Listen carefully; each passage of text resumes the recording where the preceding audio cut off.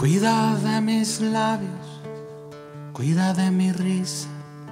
Llévame en tus brazos, llévame sin prisa. Y cuando la carecita estuvo terminada, se ubicaron en sus fantásticos asientos. No maltrates nunca mi fragilidad.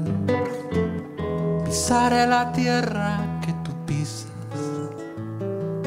Pisaré la tierra que tú pisas.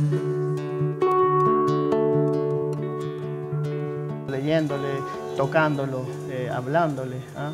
diciéndole ponete bien, eh, vas a estar bien, teniendo esa fe.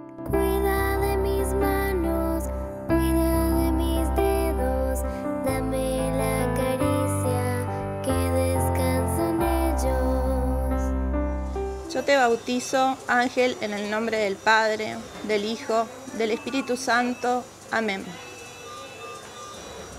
No maltrates nunca mi fragilidad.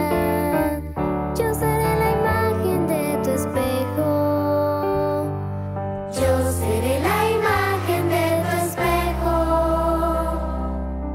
verlo ahí con todos los cables, las máquinas, y bueno, salir afuera y esperar ansiosa las tres horas para volver a verlo. Y, y a veces entrábamos y nos decían se empeoró, a veces entrábamos y decía está mejor y así.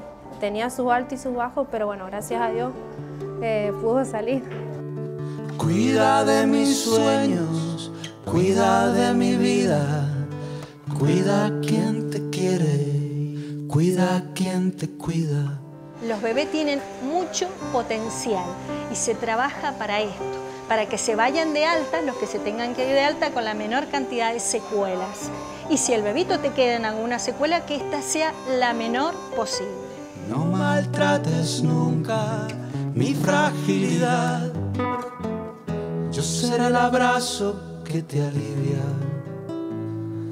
Yo seré el abrazo que te alivia.